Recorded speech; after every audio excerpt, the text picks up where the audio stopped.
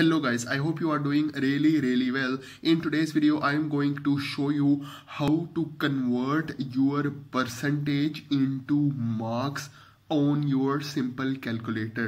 So guys for example you got 73% marks in your exam. Okay? And you want to know exactly how much marks you get how much marks in number you get okay so for example your total marks are 500 okay so what you will do is you press this AC on button clear everything.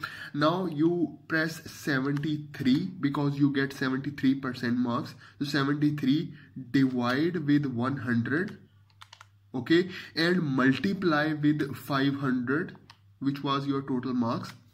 And then press the equal button so here is your final answer. So guys, you got 365 marks out of 500. So this is how you can convert your percentage into marks on your calculator. So guys, let's move to another example. Okay, so let's say you got 66% marks in your exam okay? And you want to know how much exact marks in numbers you get.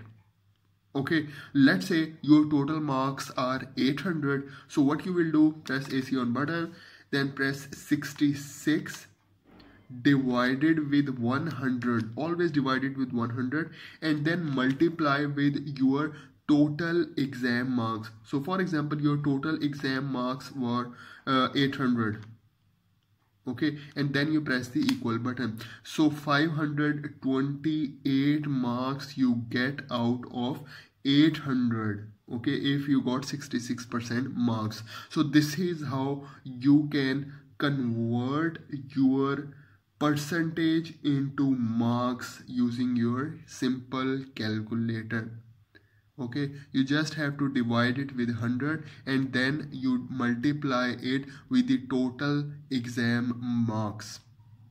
So guys this is for today's video. I hope you like the video. I hope you enjoy the video. So please subscribe to my channel. Thank you very much